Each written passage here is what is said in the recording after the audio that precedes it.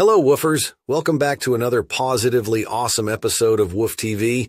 If you're a dog lover, you've come to the right place.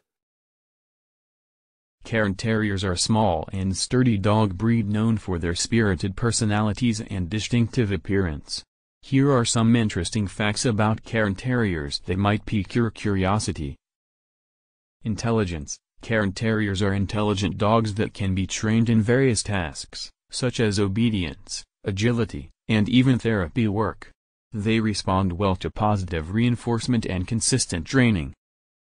Socialization Early and consistent socialization is essential for Cairn Terriers to ensure they grow into well-behaved and confident dogs.